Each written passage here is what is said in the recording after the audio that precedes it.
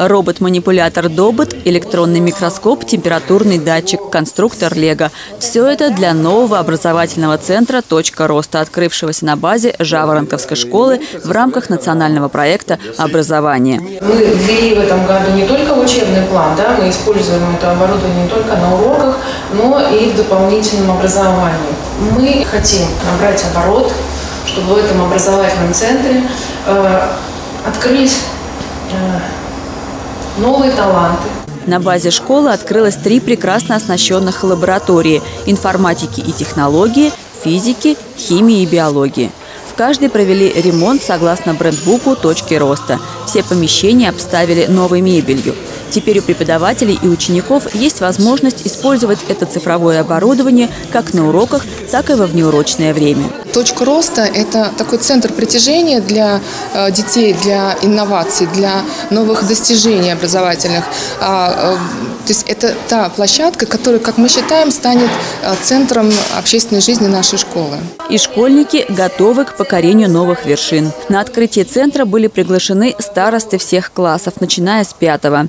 Теперь ребята, которые еще не изучают такие предметы, как физика и химия, могут узнать об этой возможности. Хотя некоторые элементы точки роста знакомы даже первоклассникам. Внеурочная деятельность такая, как а, занятие а, по робототехнике, как занятие с роботом-манипулятором.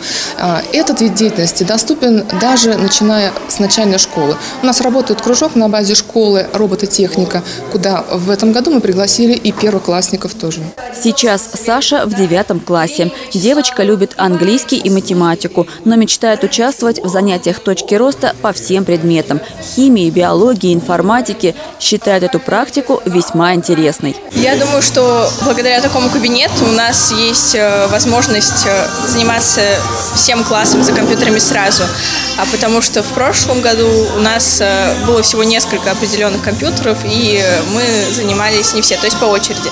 А здесь мы можем заниматься все вместе, и это немножко ну, можно сказать, веселее и удобнее. Один из самых интересных и сложных предметов – химия.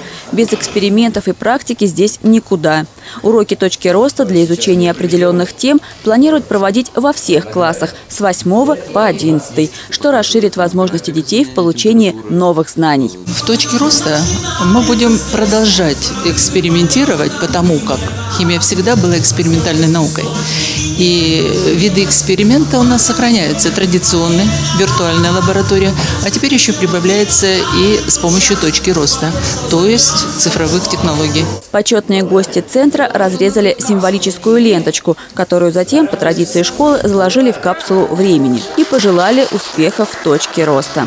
Очень рад, что и в нашем сельском поселении в одной из 27 тысяч школ России да, мы вошли в эту программу, и вот получился такой замечательный класс. Уверен, что ваши педагоги, это оснащение вам здорово поможет в жизни. Я вас поздравляю, желаю всем удачи, счастья и образования хорошего. Наталья Гончарова, Станислав Трифонов, телекомпания «Одинцова».